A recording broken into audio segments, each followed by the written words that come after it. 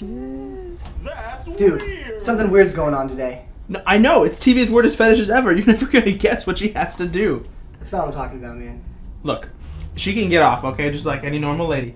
But the only way she can do it is she's got these balloons in the room, and not like happy birthday or sorry you have AIDS balloons, but like balloons with faces on them, like with glasses or like a funny mustache or a pirate eye. Just it's gonna be great, trust me. Paul, I don't fucking care. I really? I mean, that's a pretty specific fetish. Yeah, I know. Look. I mean, how could somebody even? Wait, that's not what I'm talking about.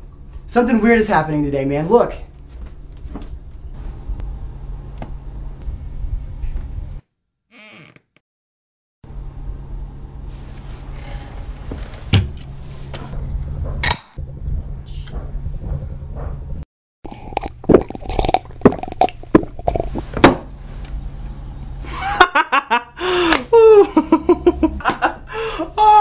You see what I mean, asshole? I've been doing this ever since I woke up. The noises just sort of come out. I can't control it.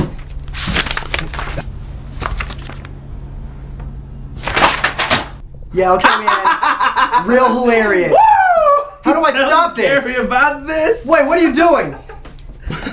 You're not allowed to tell anybody about uh, this. Nope. Nope. nope, No. Get out of my life.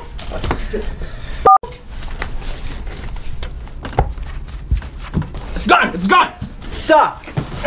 Just stop being a douche for a minute and help me. Later, Maury Povich is on. I need help now. What the fuck are you doing later that's so important that we have to do this now? As a matter of fact, you remember that girl from work, Vanessa? Yeah, well, I finally worked up the nerve to ask her out. I'm supposed to meet her for dinner at 6. I will help you for the sake of getting some stanky on your hang low, alright? So let's just figure out what, what's, what's going on. Where could this have come from? Fuck if I know. Disease? Disease?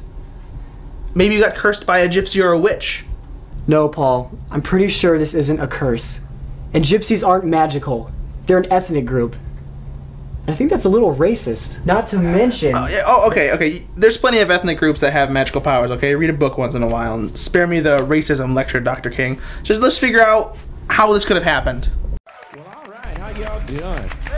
Um, I do like flying, but the sound just drives me crazy because I make noises. That's what I do. You know, when things are like,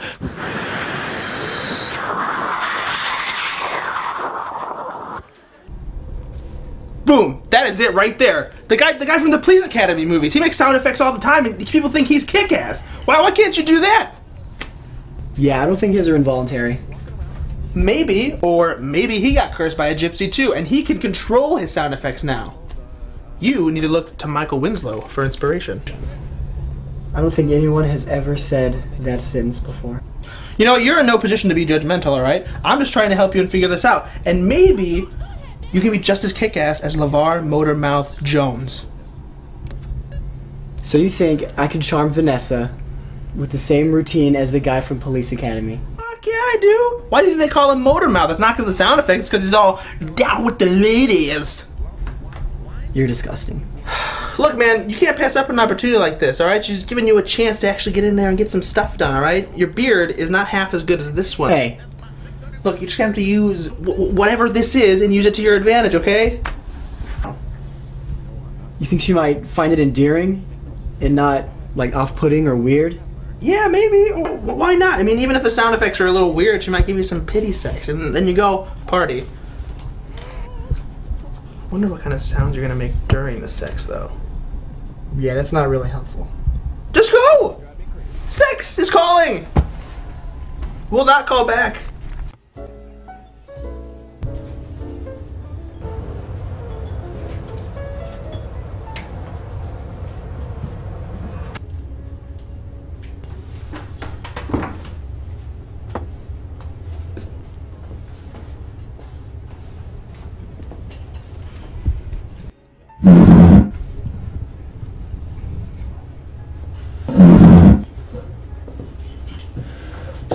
What was that? Hmm? Oh, nothing. I'm glad you finally said yes to dinner. I mean, we've been working together so long, it just kind of seemed like time that we. Hi, I'm Amanda. I'll be your server tonight. Can I get you two onions drink? We'll have cakes to start.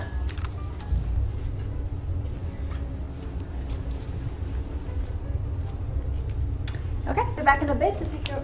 Hold on, I'll have a half salad. I guess I'll just have the spaghetti and meatballs. no meatballs. Right. I'll be right back.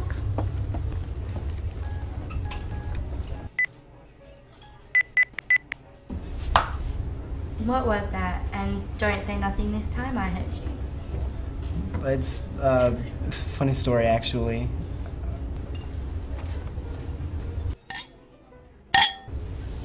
So you're gonna keep that up? I can't help it. I've been doing it all day. Right, well, if you're not gonna quit, I'm just gonna leave. You two have fun though. See you Monday. You too, huh? Cheers.